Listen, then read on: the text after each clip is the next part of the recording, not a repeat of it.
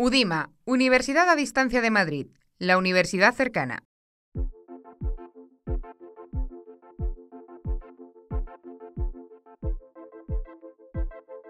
Hola Mario. Hola, buenas. Bien. Para continuar con la actividad de evaluación continua arte y psicología, me gustaría analizar algunos aspectos de tu obra. Por ello, voy a formularte tres preguntas. En primer lugar, ¿cuáles son las eh, corrientes artísticas que más han influido en tu obra?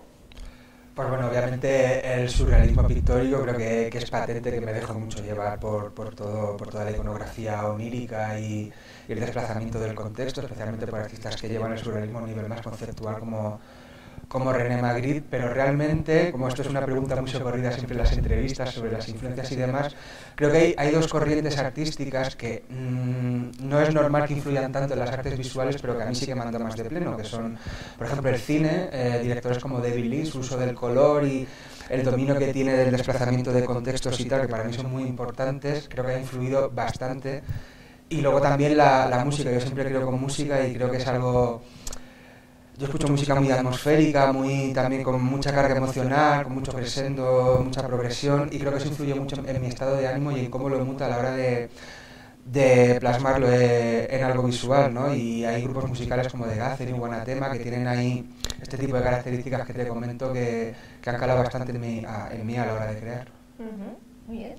Eh, un elemento muy interesante de tu obra es la iconografía. Me gustaría saber cuáles son los recursos iconográficos que más utilizas y también qué significan.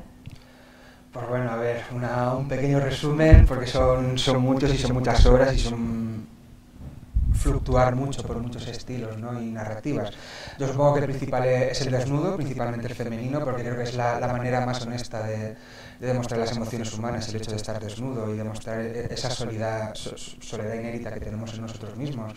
También la naturaleza, porque como he comentado antes con, con, los contextos, creo que venimos de la naturaleza y por tanto ese es nuestro contexto más grande, el que lo engloba todo y no, no se me hace coherente hablar de la naturaleza humana sin hablar de la naturaleza per se. Luego también el tiempo, representado por relojes o por cosas que se vuelven decrépitas y tal y cual, simplemente porque para mí es algo muy importante. Soy una persona que vive absolutamente esclavizada por el tiempo y al intentar hablar de mi vida cotidiana en las obras eh, es inevitable hablar de eso. También están los pequeños detalles que albergan cosas también sacadas de la naturaleza, como son pajarillos, mariposas, abejas, ramas y tal, que normalmente se utilizan como pequeños detalles al final de la obra para intentar embellecer situaciones que realmente son mucho más trágicas y enfatizar la narrativa irónica que, intento yo plasmar en las obras. Y por último son los cuatro elementos, el agua, el fuego, el aire y la tierra, que normalmente me parece que son muy descriptivos y muy icónicos para describir las emociones humanas. Por último, me gustaría hablar del color. ¿Qué expresa el color en tus obras? Y también me gustaría saber si vinculas este color a tus estados de ánimo. Pues bueno, lo que expresa, pues básicamente como la psicología del color, no intento yo virarlos hacia, hacia un significado nuevo. Normalmente cuando uso colores más saturados, con más carga de pigmento, es porque es una emoción mucho más intensa, sobre todo cuando uso colores cálidos. Cuando miro para los fríos, obviamente, estoy hablando de cosas un poco más trascendentales, más quietas, más de dentro, más que no que son más controlables. Los colores, los colores cálidos me parece que son más difíciles de controlar. Yo simplemente, para un poco identificar lo que, lo que estás intentando decir como, como artista en las obras, es un poco cómo planteas los contrastes y la complementariedad de colores, ¿no? para saber cómo estableces el foco no solo a nivel compositivo sino también a, a nivel narrativo. Entonces, según fuerzas más el contraste, estás intentando no forzar el, el mensaje, sino hacer poner más ímpetu en la, en la emoción que estás intentando. Muchas gracias, Mario. Yo creo que vamos a ayudar muchísimo a los estudiantes de la actividad arte y psicología. Gracias. A vosotros.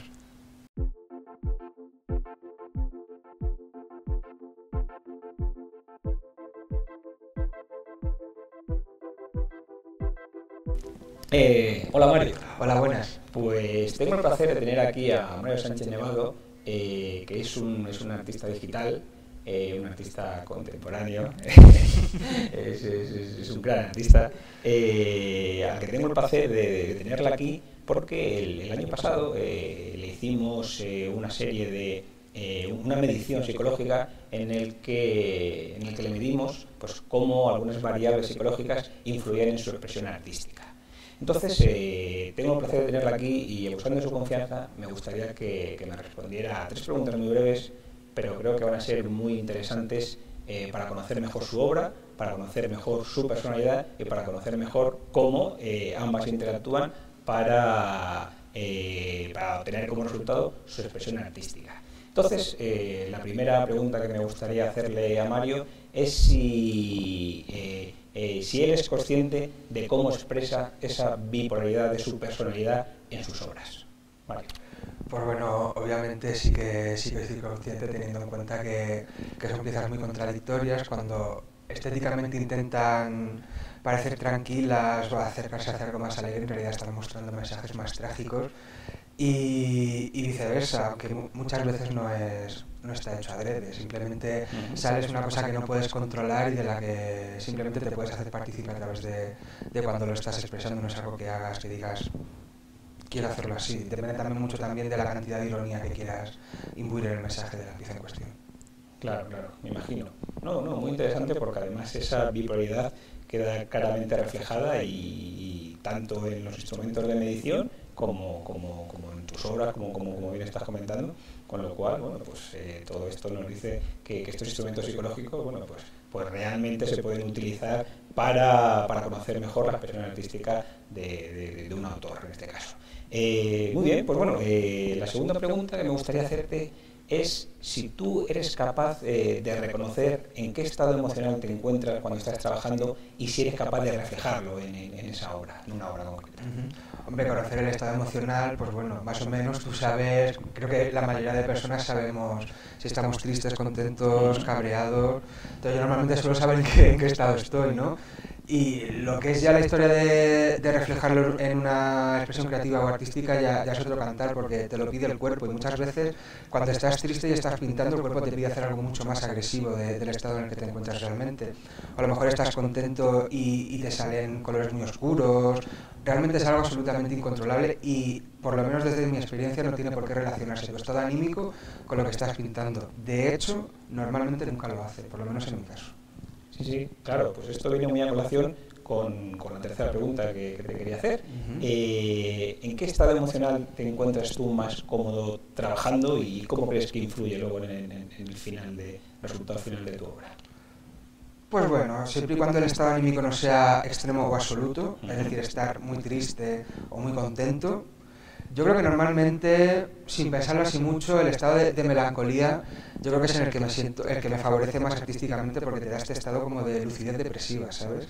Entonces cuando estás completamente triste, realmente yo por lo menos me siento tan apático que a mí no me, no me apetece ponerme a pintar en el ordenador, ni a echar fotos, ni nada. Y cuando estás muy contento, yo prefiero aprovechar el tiempo en otras cosas, no no me puedo centrar a ponerme a pintar porque la cabeza la tengo volando en mil direcciones. Entonces yo creo que esos estados absoluto, absolutos de cuando estás melancólico o un poco confuso, sabes que no sabes un poco dónde poner el pie, creo que son los momentos ideales para, para hacer acciones creativas.